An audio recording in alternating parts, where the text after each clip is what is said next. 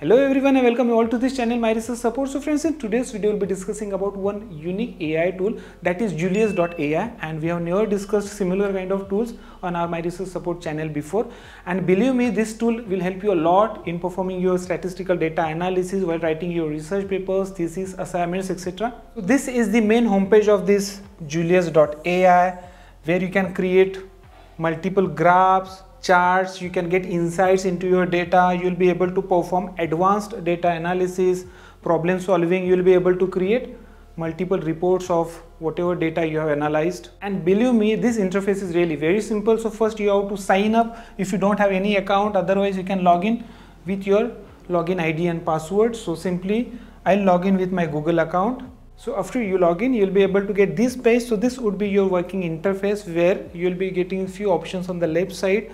Also, you can opt for any of these options. So this will decide where in what direction actually you need to take your data analysis.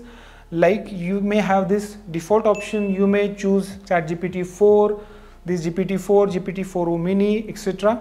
Then you have few options under these tools, means whether you need to opt this Python or maybe R, lean Python, etc. that you have to decide means whether I need to opt this code based data analysis, whether I need to search in the internet or whether I need to take help of few models, AI, popular AI models like ChatGPT. Now let us take one example and we'll see how to perform this statistical data analysis. So for that you have to attach your data sheet. You may use this icon so you can upload through your computer or you may drag and drop any of your data files. So simply I'll be using this option upload file and I'll be attaching this data sheet.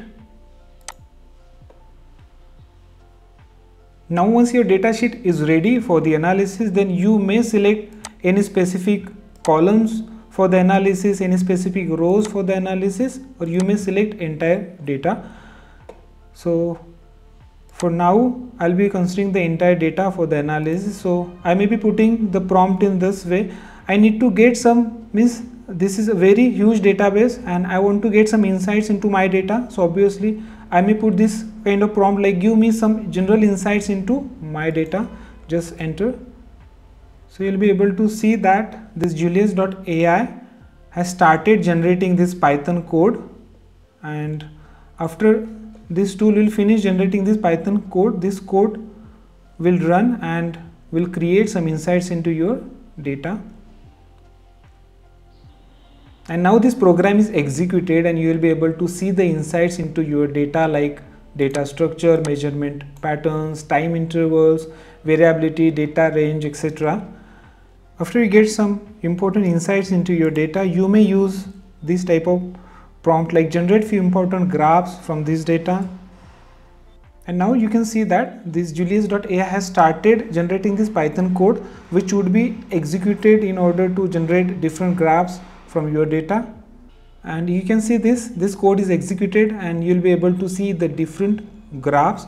Okay, if you need to have or you, you need to generate a specific type of graph then you can put a prompt like generate a scatter plot generate generate a pie chart maybe generate a bar graph etc now you can put a specific prompt if you want to perform any specific type of data analysis for example if i want to perform descriptive statistics then i can put this prompt. Give me descriptive statistics for load versus displacement data.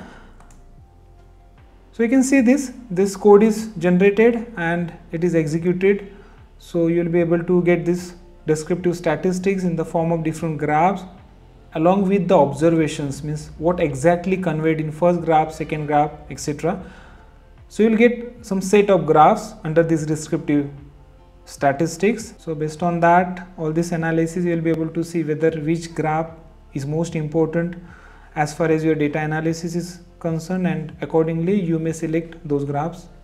So along with this specific data analysis, this tool will also suggest what types of different statistical analysis may need to perform on your data. So you can see this. To further analyze this data, we could perform statistical tests like ANOVA to quantify significance of the differences etc. So for example, now if I want to perform this ANOVA, you can ask this julius.ai as can you perform ANOVA for this load versus displacement data. So you can see this, this code is generated and even it is executed to get this p value which is 0.87 statistics value and even its interpretation. So this kind of a very general example that we have taken, even the data that I have attached, it is a kind of general in nature, but you can attach specific data and you can put specific prompts in order to get the specific outcomes. And apart from this data analysis, you can perform a lot more things. So you have to just visit model lab where you have access to most popular AI models. So you can select any of these models.